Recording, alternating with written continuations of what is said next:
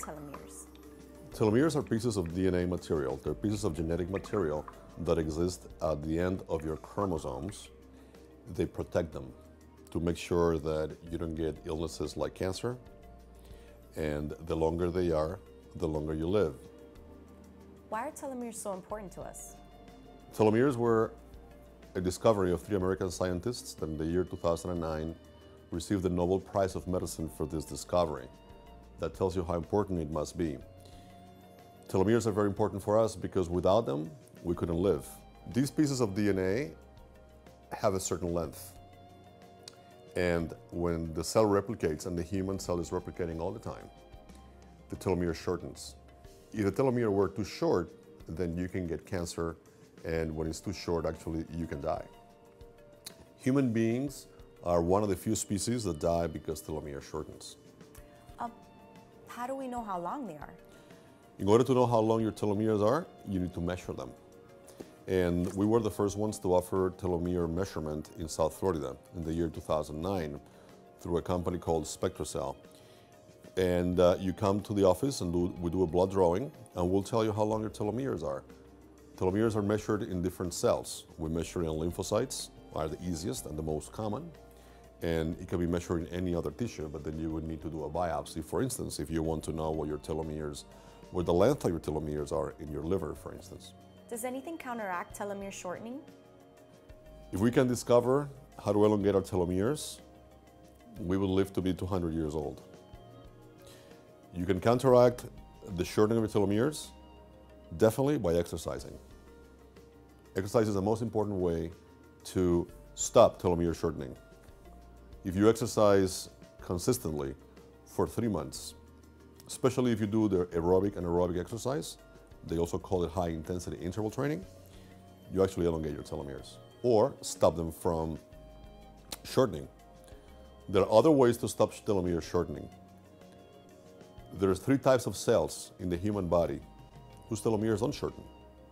Stem cell, gonadal cells, which are sperm and eggs, and cancer cells. So the scientists wondering why do these telomeres stay long and don't shorten? Well, they discovered that these cells have something called telomerase. Okay. And telomerase is a protein that elongates telomere. Now there's three American companies that are trying to synthesize telomerase. And if we ever do that, then we'll found the secret to longevity. Not immortality, but longevity.